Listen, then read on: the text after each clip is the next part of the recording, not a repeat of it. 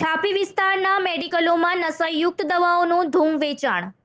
Corex નામની ખાંસીની દવાની બોટલોનું નશા માટે ઉપયોગ કરી રહ્યા છે નશાખોરો. વડગામ તાલુકાના છાપી વિસ્તારમાં આવેલા તમામ મેડિકલમાં નશા માટે વપરાતી દવાઓ વેચાતી હોવાનું બુમરાડ ઉઠવા પામી છે. ત્યારે છાપી વિસ્તારમાં આવેલા શૌચાલયો તથા ખૂણા ખાબકીવાળી જગ્યાઓ પર નશાખોરો દ્વારા આ દવાનો ઉપયોગ કરી ખાલી બોટલો ફેંકી દેવામાં આવે છે. જ્યારે એક જ જગ્યા પર વીસથી પચીસ ખાલી બોટલો જોવા મળતા લોકોમાં પણ આ ચર્ચાનો વિષય બન્યો હતો. જો કે નશાખોરો અને મેડિકલો દ્વારા આ દવાની પોપટના હુલામણા નામથી ઓળખાવવામાં આવે છે.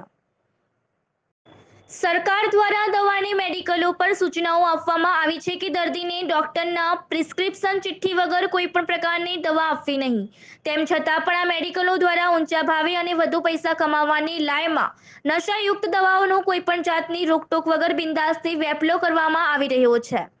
ત્યારે આ પોપટ નામથી ઓળખાતી આ નશાયુક્ત બોટલથી યુવાધન બરબાદીના પંથ તરફ ધકેલાઈ રહ્યું હોય તો આ બાબતે વડગામ આરોગ્ય અધિકારી અને જિલ્લા આરોગ્ય તંત્ર દ્વારા તાત્કાલિક તપાસ કરી આવા મેડિકલની દુકાનો પર કાયદેસરની કાર્યવાહી કરવા જનમાંગ ઉઠવા પામી છે. રિપોર્ટર પ્રદીપ પરમાર.